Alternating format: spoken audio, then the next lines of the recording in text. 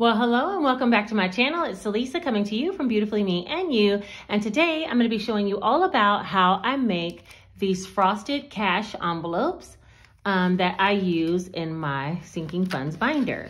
Now, I also use them for my little mini cash envelopes that I carry with me in my key holder. And I will show you guys some of those in a little bit. But for right now, that's basically what we're going to be working on today. They're pretty thick and sturdy um, and all of the money, when it's in, you can still see the dollar bills, but they are frosted like that, okay? So if you're interested in seeing how I make these frosted cash envelopes, then let's get right into it.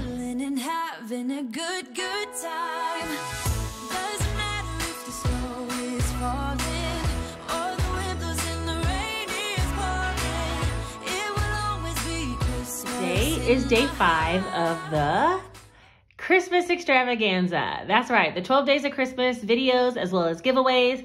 And I am going to be picking from the Noel box a little bit later in the video to see what the prize will be for today's giveaway. And then at the end of the video, I'll also announce the giveaway winner from yesterday. But for right now, I want to go ahead and get started with the making of these cash envelopes. And hopefully I can explain it well enough that you guys can do it. And let me tell you something. You guys are always on it, giving me ideas and suggestions how I can do things better every time I release one of these cash envelope making videos. So keep the suggestions coming because there might be somebody else who's looking to make these and they need your tips and tricks, okay? All right, so first things first, this process is gonna be very similar to how you make clear cash envelopes. I have a video that does speak to you about how to make clear cash envelopes and I'll link it up above here. And then the second video I made about cash envelopes had to do with when you want to embed flowers into your cash envelopes. And I have a video about that. I'll put that up there. And then finally, I made another tutorial about how to make a 100 envelope cash box, um, savings challenge box, and I'll put that video up there if you're interested in that. All of those videos have pretty similar principles to how I make these particular envelopes, um, just little bits different, you know, in each one, okay? So let's talk about all the things that you'll need for these frosted envelopes.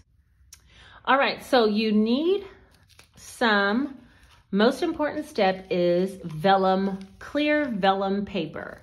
And it looks like this. This is the pack that I bought. I think it was only like four or five dollars at Michael's. This is a recollection um, paper and this was 40 sheets, I think for, like I said, four or five dollars. Um, you don't have to have specifically this brand, just as long as you have clear vellum paper. Um, and one sheet kind of looks like, let me take a sheet out and I'll show you what it looks like.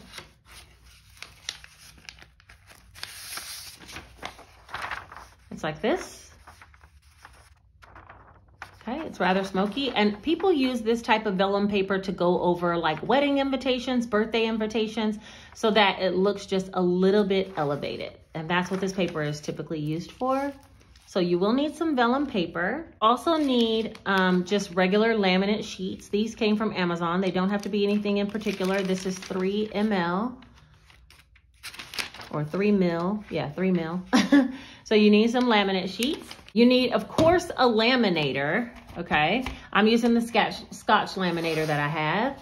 You need a hole punch. This one you can find down below in my Amazon storefront. It does have where you can change the variations of what size envelopes you need. So mine is a personal, so that's why it's set on personal right now, but you can hole punch A6, a mini pocket, A5, um, all with this one hole punch. And so you will need a hole puncher. Like I said, this one's linked down below my Amazon storefront. And then you need a paper you need a paper cutter and this one is not totally in frame, but it is linked down below my Amazon storefront. You just, you know, cut the paper this way, okay? So those are all of the items you need. The final item I don't have here at my house, but it is important for these particular type of envelopes or cash envelopes. You need a laser printer, okay? Not an inkjet printer. That won't work with these particular type of envelopes because what you're gonna be doing is printing onto the vellum paper and then allowing it to dry. It dries pretty quickly and then you'll cut it and use that to make the envelopes. But if you use an inkjet printer, it will smear on this type of paper. So it has to be a laser printer. So what I was doing for a minute there was printing them at work um, because laser printers are a little bit more expensive than an inkjet. So just be aware of that. To get started, I'm gonna show you how I printed So I actually downloaded a font from Creative Fabrica um, and it was this particular font that I used. And then I just created a template that had three cash envelopes per one sheet of paper. Okay, so that's what this is. I printed it through the laser printer and it printed just like this. Now that was one template I had for the cash envelopes. I created another template, which is for the mini cash envelopes, and it looks like this and it has gas, grocery, Stacy food, fast food. This is just some one that I created before. And so this is for the mini envelopes, okay? So these two you would print beforehand. And once you get them printed, they don't smear, nothing, you know, they're stuck on there. Once you print with a laser printer, then you would begin to cut, okay? Okay, so I'm gonna cut these three down to size and they're gonna end up being this size six and a half inches long and three inches wide. And that's the size that we need to cut it so it can go inside the cash envelope, okay? Since the vellum paper is eight and a half inches wide, I'm first gonna take an inch off each side so they will be even because this print is in the middle of the paper. So I'm taking down to seven and a half and cutting off that and then turning it around and taking it to six and a half. And I'm lining it up here, six and a half, and then cutting off that.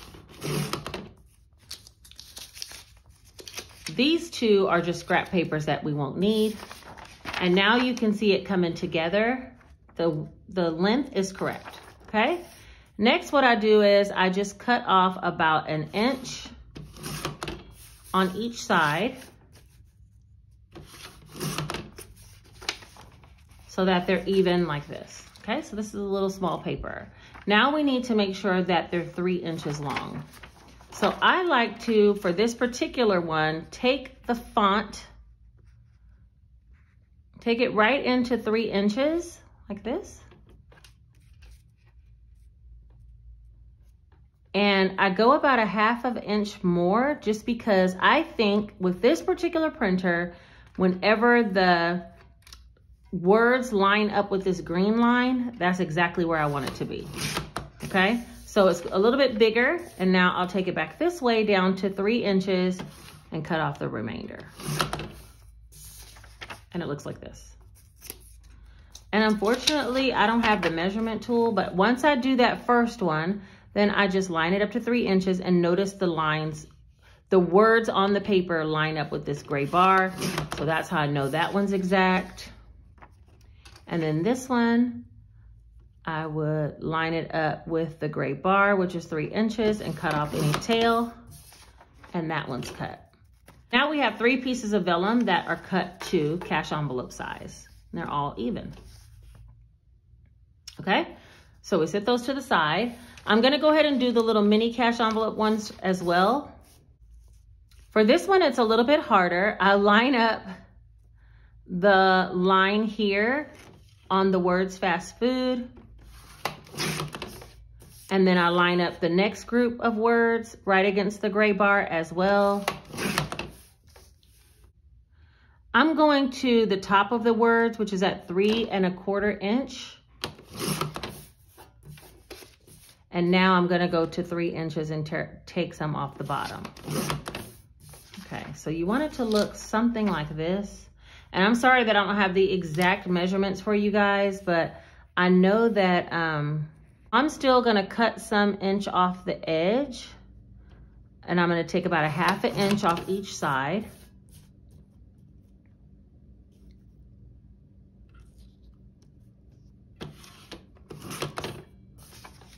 Something like that. And this is part of the reason why I stopped selling them because I feel like they're so tedious to like do. And they should be three and a half inches um, long.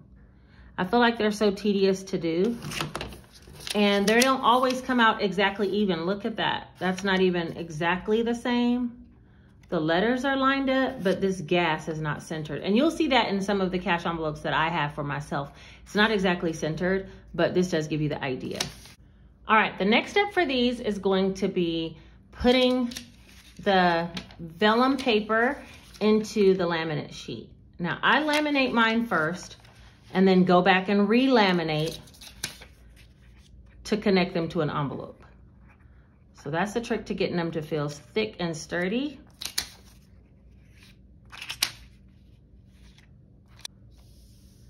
All right, so we have them in there like this, and now we laminate. Well, I went ahead and turned on the laminator. I moved positions too because the lighting just seemed to be a little bit off without my ring light. If you've been here before, then you know that I like to put a little bit of cardstock in the corner so that it doesn't get caught in the laminating machine. And that was a tip given to me by one of my subscribers here on a previous video. Thank you, whoever it was, because it has changed my life. Okay, because my papers would always get jammed in the laminator. So now what I'm gonna do is just send it through the vellum inside of the laminate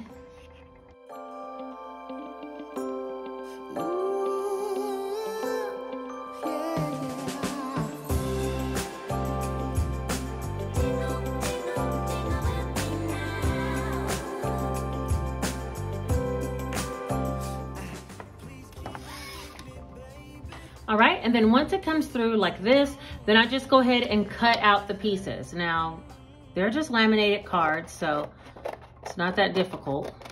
We're not trying to do anything except cut out the shape, okay?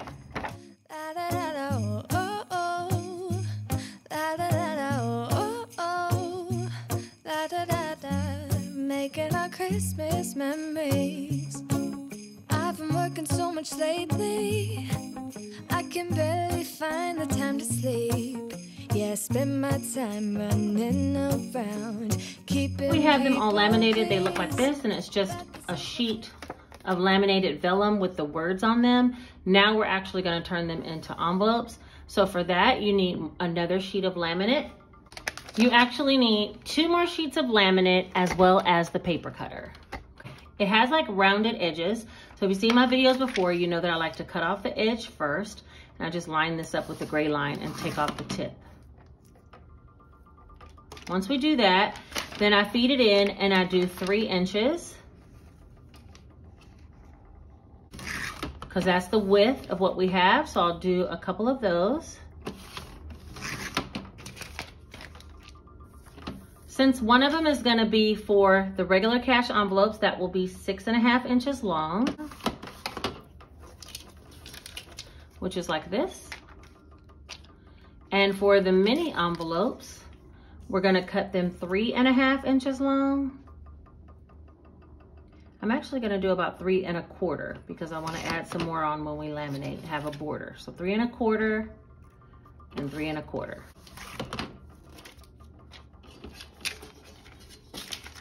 All right, so that's all the cutting we'll need for right now. Our second sheet of laminate that we need, or now this is what, the third sheet? Yeah, in the third sheet of laminate that we need now, we're gonna open up the paper.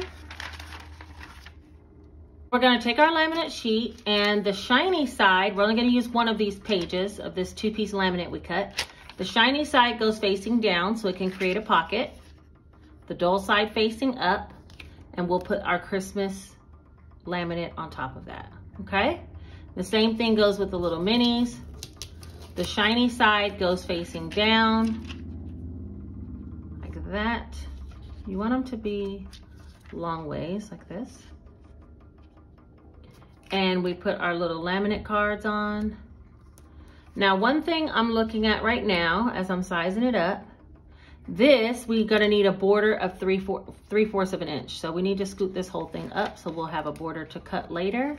So I'm gonna scoot it up here.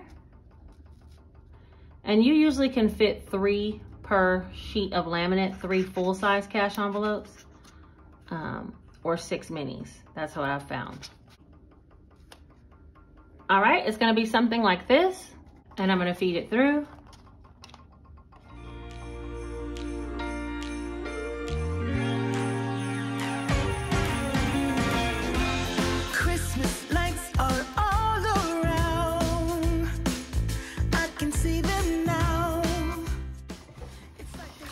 All right, and it looks like this. The mini cash envelopes, they're not that difficult. We're just gonna cut them out.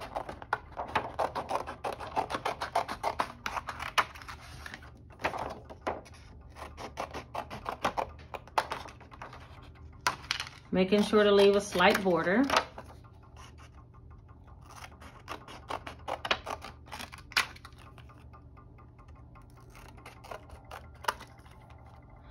Cut across the top of this one to open it up. And once we cut across the top, we have our little pocket here. And this is the cash envelope that would sit down into, I probably would cut some more of this border. This is the cash envelope that would sit down into your cash wallet. Okay, so that's one of them. Let's do the other. If you want them extra straight, you can cut them with the paper cutter. I just seem to cut them by hand because it's quicker. and then you cut off the top. Now, one thing about this vellum, it will feel like it's not gonna open.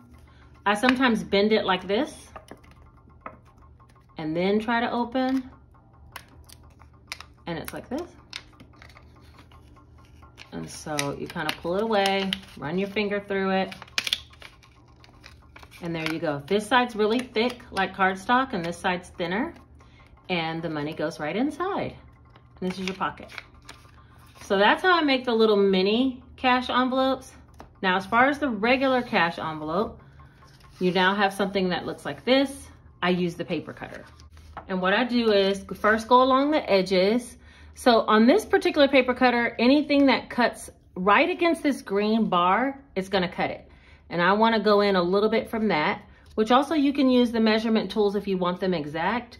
If we started at six and a half inches, if you go in six and three quarters, you're just about there, okay? So I cut off the edges. Again, this one should be about six and three quarters. Cut off the edge, so it looks like this.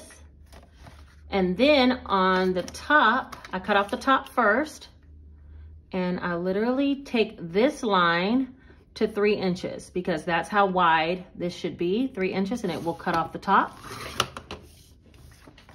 All right, so now, now I run my finger through the back like this, just to open it up.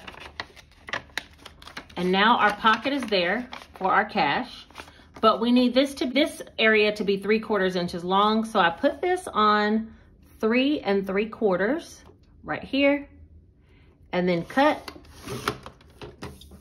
And now we have the area for our hole punch. I don't know if you guys can see that very good, but now we would hole punch this. So let me get the hole puncher. All right, now I use the hole punch and it's already set to my personal envelope. I just slide it in and hole punch.